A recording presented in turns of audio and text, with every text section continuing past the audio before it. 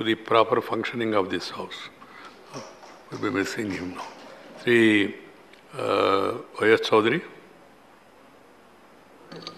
Yeah. Thank you, Honorable Chairman, sir. I would like to briefly tell about my journey. Though I am by qualification, I am an engineer.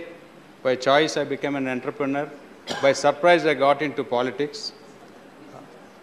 In fact, my journey in this house as well as in the politics, both are equal, 12 years.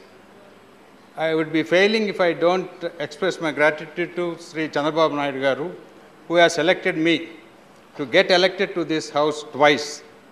Though I have differed politically today with his party and with him, but I always respect him for his hard work and for his uh, endeavor to serve the nation.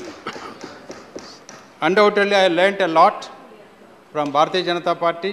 I also learnt a lot from Sri Honorable Prime Minister while serving as the member of Council of Ministers with him. I, I cannot emotionally forget my mentor who has guided a lot, Sri Arun Jaitley ji, who is not with us today. In fact, I, I started my journey with him when he was uh, LOP, then he became uh, leader of the house, who has really guided me like a student.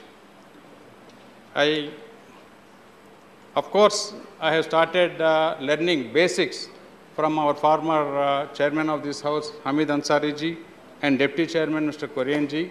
That saga continued to learn from present chairman, Sri Venkaiah Naidu and Harivansh ji, undoubtedly. I also gained rich experience while serving as a member of various standing committees as well as uh, consultative committees. And I also learned a lot from every member of this August House. Uh, mainly, I, I would like to mention few names like Ghulam Nabi Azad ji, Jairam, Jairam Ramesh ji, though they are not there, Sitaram, Sitaram Yechury ji, D. Raja, Naresh Gujaral ji have been a great strength right from beginning. Mainly, he taught me to, apart from house, what I have learned, to bringing unanimity from the diverse views and uh, opinions. Right. I learnt a lot from Naresh ji also. Like that, Trichy Siva, Prasanna Acharya, so many, Derek O'Brien, how to fight for the right. That also I learned. I always Right, Mr. Chowdary. feel God is very kind for giving me this opportunity.